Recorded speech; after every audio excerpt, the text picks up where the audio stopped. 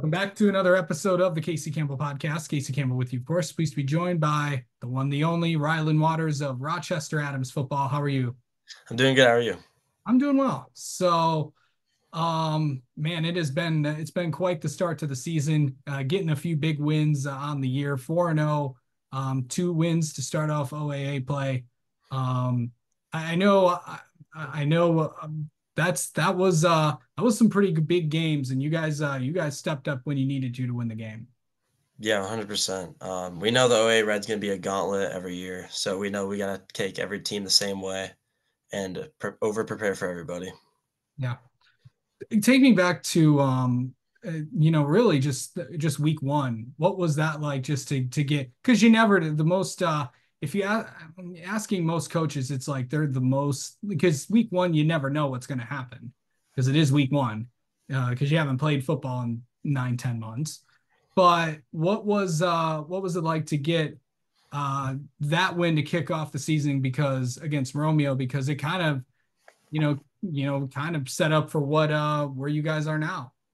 Uh yeah, it was a big win. You know, uh obviously we haven't played in nine months. We look, we had a good scrimmage against Chippewa Valley, but we started off really strong, and then we we kind of we kind of fell off a little bit. Like we we let up, we took our foot off the gas, and that's what ended up getting us into the overtime. But we ended up battling back, and that's all that matters is we showed courage.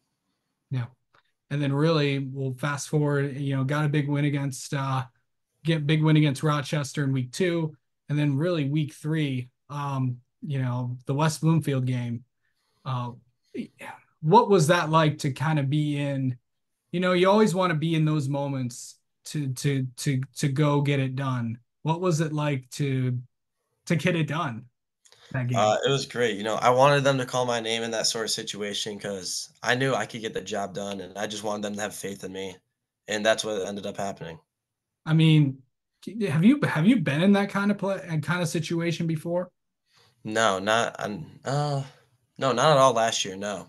And that I mean, overtime against Romeo, the two-point play, that was a huge play. But besides that, no, not really.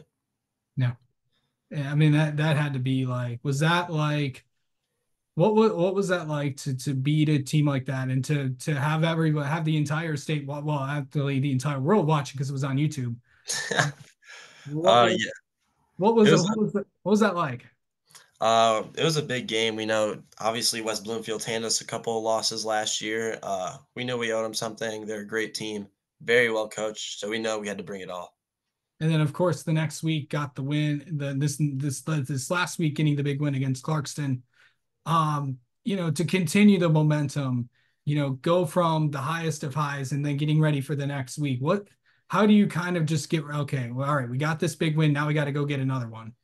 Uh, yeah, we just know that after Friday nights, gotta celebrate the win. You know, enjoy the win, and then come Saturday morning, we're back at it, watching film, getting a lift in, and we're back with the team, getting ready for the next week.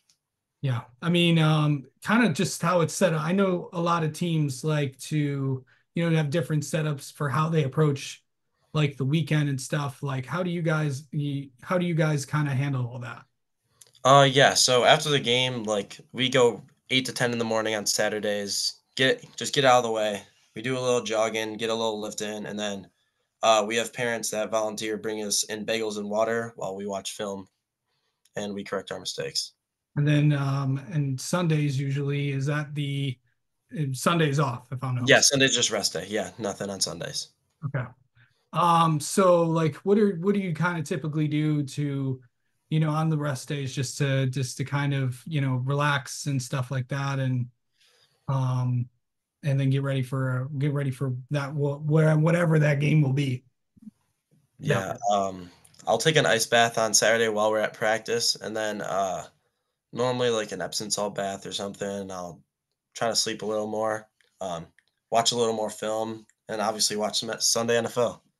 Absolutely. Um, so going into you know going into this week obviously the uh obviously you know how tough this division is uh, because obviously you play in it but the uh I mean, it doesn't get any easier. Well, because there's never any off weeks in high school football for any team. But um, Lake Orion is, of course, uh, the next opponent. What's that going to be like? I know they're I know they're coming off a loss against Oxford, but Um, you know, obviously I got to see them earlier this year. What's the, what's it going to be like to prepare uh, for a really good team that that went a really uh, that went a really long way last year?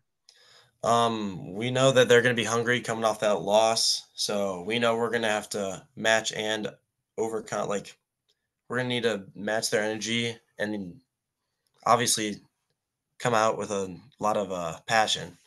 So um, we know they're a good team, and we know what we're going to have to do to beat them you know, kind of talk about this since you've kind of uh, stepped into the QB role. What what has that been like? How have you kind of just been, you know, being the quarterback of uh, at Rochester Adams? What what is that like for you? Uh, I mean, it's a great experience. Obviously, learning every day. Coaches are great. They're helping me, especially as a sophomore. They helped me. They guided me through the game, and now they handed me the keys to the offense this year, and I'm really able to take over. What's it like? What's it like uh, playing for Tony? It's great, guys. He's a great man. He's an honorable man. Great person as well. Great coach. Yeah. Um, so really, I just can you just describe how tough this division is in the OAA Red? Uh, like I said earlier, it's it's really a gauntlet. Like all these teams, like we know last year everybody made the playoffs, and this year everybody's gonna make the playoffs. Plus, everybody's gonna be competitive this year, which is gonna be uh, it's honestly exciting to watch that we have so much competition in the OAA Red. Yeah. Um, and then, then also, I think you know, really after these these next two, it could really set you up for you know what the goals what the goals have been all season. You know, but what what do you feel like you guys got to do the next next five weeks to uh to kind of uh just to kind of get where you need to go before uh before the postseason starts? Uh, we just can't get overconfident. You know, we've been underdogs for most of this year. Uh, nobody on our team has an offer. Nobody's committed anywhere. So it makes us hungry. So we can't overdo it. We can't change what we what's been working, and uh, just keep our head down for the next five weeks. Absolutely. Um, and then and then last thing, uh, I, I think I asked you this before, but what's on uh what are some of the things on Rhino's playlist before a game? Mm, little dreams and nightmares. Uh, full Eminem till I collapse. That's a, that's the big one right before the game. Yeah. Um, really just like some uh, EDM. Okay. All right. Um, all right. Well, Ryland, thank you so much for the time as always. Congrats on uh congrats on the success so far and best of luck this week against Lake Orion. Thank you. Thank you for having me.